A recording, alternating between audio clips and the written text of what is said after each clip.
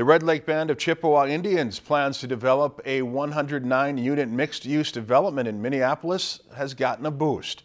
The project, which is named after an Ojibwe phrase that means the good life, was awarded $2.71 million from the city of Minneapolis on Friday. That is one of the largest affordable housing trust funds awards ever approved and provides mixed use, mixed income workforce housing for families on a distressed site along a transit oriented commercial corridor. Now, plans are for the development to be located adjacent to the Franklin Avenue Metro Blue Line on Cedar Avenue South in Minneapolis. It will offer efficiencies, one, two, and three bedroom units in a six-story building with ample green space, shared underground parking, and a complete amenity package.